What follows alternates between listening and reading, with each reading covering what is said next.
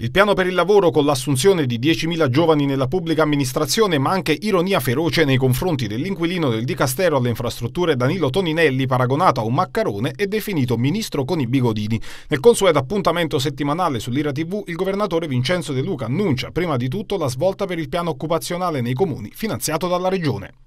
Non si tratta di rigonfiare la pubblica amministrazione, non si tratta di fare spesa pubblica parassitaria si fa un'operazione assolutamente trasparente, le procedure concorsuali vengono gestite dal Formez, non dalla Regione.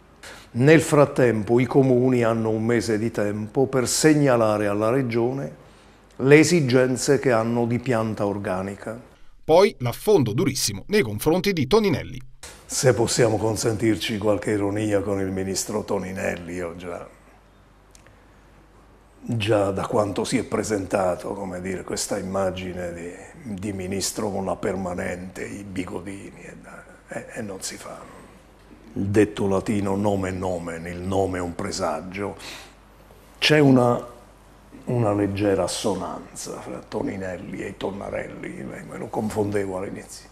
Sapete, i Tonnarelli sono un maccarone lungo e moscio non è mancato infine un passaggio su Bagnoli. Dalla Regione parere negativo sul commissario Floro Flores. Per De Luca ci sono evidenti incompatibilità e scarsa esperienza amministrativa per la figura scelta dal governo Lega 5 Stelle.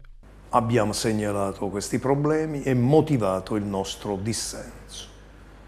Il governo si assumerà da oggi in poi tutte le responsabilità della vicenda Bagnoli